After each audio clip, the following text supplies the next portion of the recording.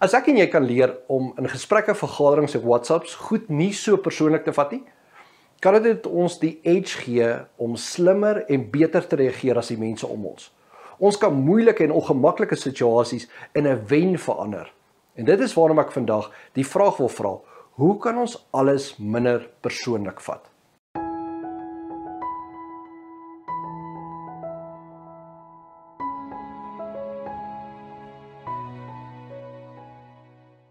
Daar is 'n gedeelte in die Bybel in Johannes 4 van Jesus wat met 'n vrou by die put praat wat verseker een van my gunsteling gedeeltes in die hele Bybel is. Jesus se disippels het gaan kos koop en Jesus begin met die vrou praat en bied vir haar die ewige lewe aan. Nou dis 'n gelaaide gedeelte waar maar wat 'n mens opval is hoe die vrou sarkasties is, hoe sy dom speel en sommer onredelik en aanvallend in die gesprek is. Maar maak nie saak wat sy sê nie. Jesus hou sy koel. Cool en op die ou end wen hy haar oor en sy word een van sy volgelinge. Sy lei selfs ander mense na hom toe. Nou my vraag is, hoe doen 'n mens dit? Hoe kry ek en jy dit reg om goed nie persoonlik te vat nie en om te doen wat Jesus in daardie situasie gedoen het? Die meeste van ons het groot geword met die idee dat 'n mens eers tot by 10 moet tel wanneer ons iets moet antwoord, vir alles 'n mens kwaad is want daai tot by 10 tel help 'n mens glo om nie die verkeerde goed te sê en jouself in die moeilikheid te kry nie. Maar my probleem is dat gewoonlik teen die tyd wat ek by 10 kom, is ek eers ordentlik warm en dan kom alles in elk geval verkeerd uit. Dis nou nie regtig wat Jesus gedoen het nie. Maar hier kom die goeie nuus. Die laaste paar weke oefen ek om twee goed te doen wat regtig help En die beste is, ek het ook al vergeet om daai goed te doen en die oomblik wat ek dit besef, kan ek nog steeds dit doen. Dis nooit te laat vir hierdie tegniek nie. En ek het dit ook al gedoen na 'n gesprek verby was en dit het my nog steeds gehelp. Dis twee goed wat 'n mens help om meer soos Jesus te word en dit laat my dink aan 'n boomerang wat 'n mens gooi. Nou kom ek verduidelik dit. Die eerste ding wat 'n mens doen is dis soos wanneer jy die boomerang gooi. Ek sê vir myself hierdie gaan nie oor my nie. Gewoonlik wanneer 'n mens in 'n gesprek of 'n argument is, maak ons dit oor onsself. Ons probeer tussen die lyne lees, ons probeer uitfigure waarheen die gesprek op pad is. Ons probeer hoor wat die ander persoon vir ons wil sê en in die proses maak ons baie keer 'n groot fout. Ons trek 'n skoen aan wat eintlik nooit vir ons bedoel was nie. Ons dink omdat mense vir ons iets sê, gaan wat hulle sê oor ons. En partykeer doen dit, maar meeste van die tyd ook nie. Partykeer is wat mense sê en hoe hulle dit sê die resultaat van hulle eie situasie, hulle frustrasie, hulle onsekerheid en hulle twyfel.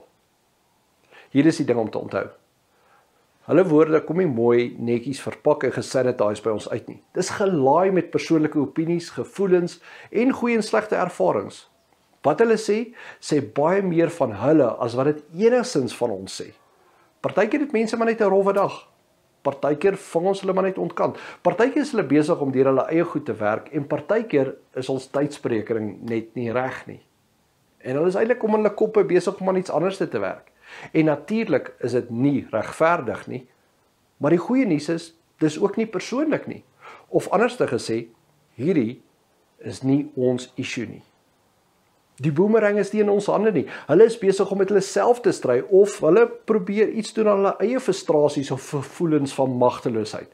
Wat eenvoudig beteken ons kan maar net hulle uitluister en ons hoef nie die skoen aan te trek nie want wat hulle sê en hoe hulle dit sê gaan nie oor my nie. Kyk byvoorbeeld na Jesus en die vrou by die put. Sy kom skep water op 'n heel ander tyd van die dag as wat die ander vrouens van daai tyd na die put toe gegaan het. En hoe ver die gesprek gaan, kan 'n mens agterkom dat sy uitgeskuif is deur haar gemeenskap. Haar sarkasme en haar bitterheid gaan oor haar eie situasie en het niks met Jesus te doen nie. Hoor net hoe reageer sy in vers 11 as Jesus vir haar die water van die ewige lewe aanbied. Sy klink skoon sarkasties en gooi sommer 'n steekie in oor Jakob en politiek van daai tyd. Die vrou sê toe: "Meneer, jy het niks waarmee jy water kan skep nie en hierdie put is diep. Waar sal jy die water kry wat 'n mens waarlik laat lewe? Jy is nie beter as ons voorvader Jakob nie. Hy en sy seuns en sy diere het almal hier water gedrink en hy het hierdie put vir ons gegee. Maar Jesus kry dit reg om dit nie persoonlik te vat nie. Hy hou self sy koel sodat hy haar met empatie kan behandel. Hy praat haar gedrag nie goed nie, maar hy verstaan dit. Dit gaan nie oor hom nie. Dis haar eie seer. Wanneer ander mense met ons praat, gaan dit nie oor ons nie. En ek weet partykeer is wat gesê word en hoe dit gesê word so bitter onregverdig dat dit nie anders te kan as om 'n mens se hare te laat opstaan nie. Maar die realiteit is dat dit al klaar vir ons 'n teken moet wees dat die ander persoon met bagasie sit of dalk dat dit 'n teken is dat 'n ander gesprek gevoer moet word oor die verhouding. Maar dit is 'n ander gesprek wat 'n mens op 'n ander manier kan voer. Eers moet jy jou losmaak van die emosie van wat nou aan die gebeur is. En dit kan net gebeur wanneer ons daai boomerang gooi en tot die besef kom hierdie gaan nie oor my nie. As ek en jy eers 10 tellings kan gebruik om die boomerang weg te gooi en te besef dit gaan nie oor my nie, verander dit alles. Dit verander die verhouding, dit verander die gesprek en dit verander selfs die situasie vir altyd. En dit werk soos 'n bom. Partykeer Want partykeer voel dit vir my hierdie gaan oor my en ek sukkel om dit nie oor my te maak nie. Ek voel dit is persoonlik en ek kry dit nie reg om die goed nie persoonlik te vat nie. Wat beteken dit is tyd om die tweede ding te doen. Dis tyd om die boomerang te vang. Daardie boomerang kom dan terug na my toe. Want dan is dit nodig dat ek vir myself sê hierdie gaan oor my en dit gaan nie oor hulle nie. Want as ek gesond was en as ek op 'n goeie plek was, as ek meer soos Jesus was, sou ek nie so gesukkel het om wat nou gebeur nie so persoonlik te vat nie. En dit beteken dat wat hier nou aan die gebeur is, gaan oor my. Maak nie saak wat die ander persoon dalk ook verkeerd of onredelik is nie. Daai vrou was bitter onregverdig en onredelik met Jesus, maar hy het dit net nie aangetrek nie. En as ons vry en gesond was soos Jesus, sou ons dit ook beter kon hanteer het. Die boomerang wat terugkom, help ons om te besef hierdie gaan oor my. Wat nou gebeur, krap iets van my eie stres en onsekerheid en my twyfel oop en daarom is ek eintlik besig om dit oor my te maak. sien wanneer ander mense se woorde by ons uitkom, is ons nie besig om met mooi skoon hande wat gesanitiseer is, hulle woorde te probeer ontsyfer nie. Ons is ook vol emosies, ervarings en verwagtinge. Ons kan die gesprek ook kontamineer. En natuurlik maak dit nie wat hulle sê of doen reg nie. Maar as ek en jy nie 'n tree kan teruggee van wat aan die gebeur is nie, is dit tyd om selfondersoek te doen. Hoekom trigger hierdie ding my so? Die boomerang is nou weer terug by my. Wat eintlik as 'n mens daaroor dink 'n ongelooflike goeie ding is. Want dan kan ons niks aan ander mense se vyande doen nie. Kan ons iets doen aan onsself? Baie keer is dit genoeg om dit net te besef. My ervaring die laaste paar weke is dat wanneer ek weer die boomerang moet vang en ek besef hier is iets in my binneste aan die gang, is dit baie keer klaar genoeg sodat die hele gesprek in 'n ander rigting kan gaan.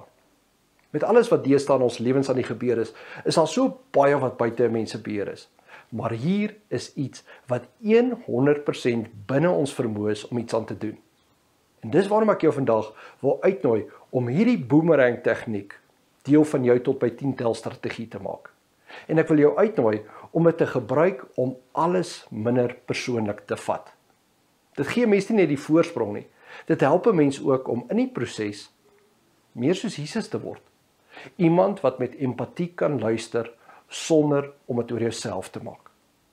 En wanneer ons dit nie reg kry nie, 'n gesprek met jouself te begin om te besef daar is nou 'n geleentheid om iets hier in my binneste ontdek, iets wat besig is om my terug te hou.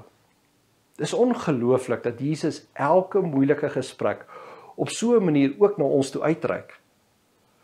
Net soos wat hy met daai vrou gedoen het by die put. En hy bied ook elke keer vir ons die water aan wat lewe gee. En ek is seker hy wil ons ook net soos daai vrou help en ons ook vrymaak. Hoor net hier hoe eindig hierdie verhaal. Net toe het sy disippels teruggekom en hulle was verbaas dat hy met 'n vrou praat. Tog het niemand vrae gevra wat wil jy hê of vir hom waarom praat jy met haar nie? Die vrou het toe haar waterkruik net daar laat staan en na die dorp toe gegaan en vir die mense gesê: "Kom kyk, hier is 'n man wat my alles vertel het van wat ek gedoen het. Is hy nie miskien die Christus nie?" Die mense het toe uit die dorp uit na Jesus toe gekom. Jesus verander 'n moeilike gesprek in 'n wen vir die koninkryk. Hy bring genesing en hy bring lewe. Kan jy dink wat die Here hierdie week in ons lewens kan regkry? en in ons verhoudings kan regkry as ons bereid is om sy voorbeeld te volg. Daarom wil ek uit nou onthou gerus hierdie boomerang tegniek. Dit gaan nie oor my nie. En as ons sukkel, hierdie gaan oor my en dit gaan nie oor hulle nie. En ek weet dit is moeilik.